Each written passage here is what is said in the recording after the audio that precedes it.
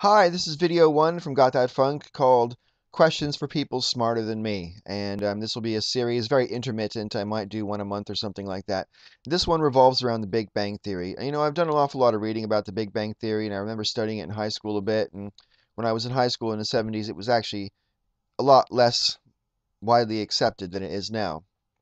But I do have some questions. For example, if you dial yourself back to the the moment of the Big Bang in terms of time, um, and it starts off with a singularity. Now, the size of the singularity to me is completely immaterial um, because size is all relative. You know, um, everything is only big or small compared to something else.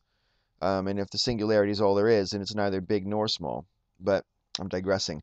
My question is this if you were, like, say, on the outside of the singularity, and um, you were say just say I don't know a thousand meters outside the singularity, and um, just as the singularity, just before the singularity rather, started to expand, you started to move away at the speed of light, say two seconds before it started to expand.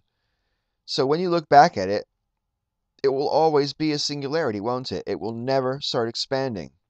And if that's the case, isn't it also true that if you're a thousand meters on the outside of the singularity and at the moment it starts to expand at the speed of light, you start moving away from it at the speed of light. So, from your point of view, won't it always be expanding? Therefore, isn't this Big Bang still happening? This has Got That Funk. May all your ups and downs be ups.